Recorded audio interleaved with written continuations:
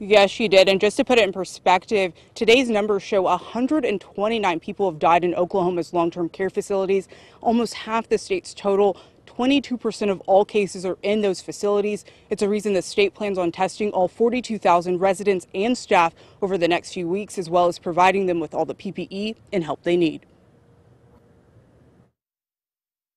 As hard as we can. Good news to Dina Daniels, whose world was turned upside down when she lost her sister Vicky to COVID 19 last month, now left to care for her eight year old niece, Matea. And I said, Baby, mom is not coming home this time. And she started crying.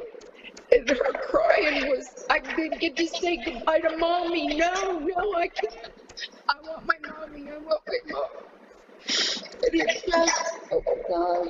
When Vicky came down with coronavirus, her family says she was staying at an Oklahoma City long term care facility due to health problems keeping her in and out of the hospital. Now, my sister's been sick for a long time. Despite 75 cases and four deaths within the facility, she isn't blaming staff They are gracious people. They were very kind to us. and is glad to hear testing is ramping up and hopes these numbers decline, sparing others this kind of pain. So real.